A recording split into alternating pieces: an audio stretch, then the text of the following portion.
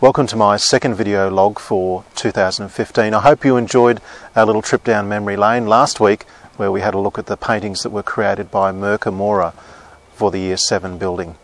This week I'd like to talk to you about one of my favourite events of the year, our very special community assembly where we acknowledge the students of the class of 2014 and we induct our captaincy team for 2015. What I'd like to do now is show you some photos of the event itself.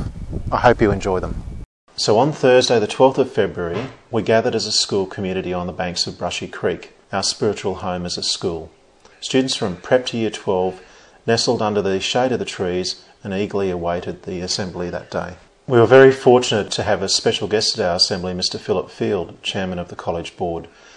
Mr. Field congratulated all students from the class of 2014 for their hard work and diligence and wish the students who were inducted as leaders for 2015 all the very best for their journey. The 2015 Student Leadership Group were asked to take the oath of office, which says, I promise to serve the Billanook College community by giving of my best in attitude and actions I also promise to work with my fellow students to build a caring learning community.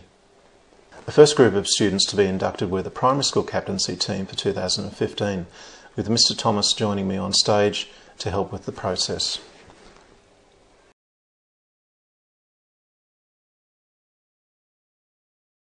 The next group of students to be inducted were the middle school captaincy team with Mr Nick Owen helping me with that task. As you can see here, middle school captains were presented to the school.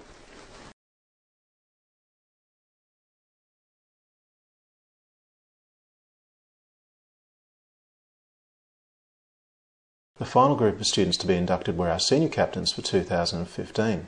And as you can note, one of the special tasks that these students perform is to sign the historical record of captains at Billanook College.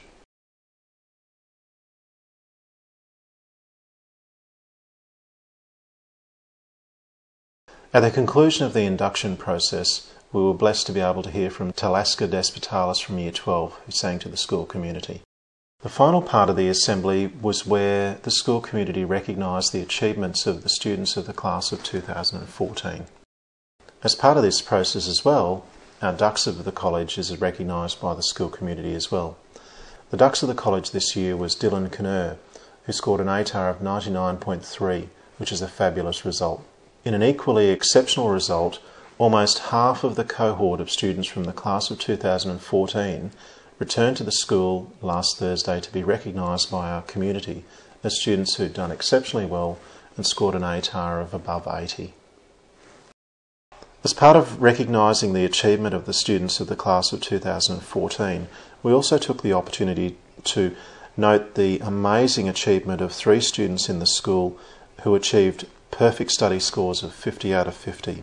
Congratulations go to Jessie Tudor, who received perfect study scores in History Revolutions and Literature, to Miranda Picknell, who received a perfect score in Philosophy, and also to Emily Grundy, who was an accelerated Year 11 student, currently in Year 12 this year, who received a perfect score of 50 in Psychology.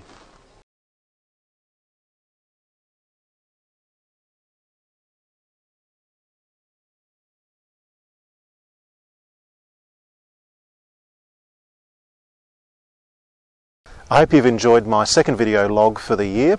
Um, congratulations to our captaincy team for 2015 and all the best to our students from the class of 2014 as they embark on the next stage of their learning journey.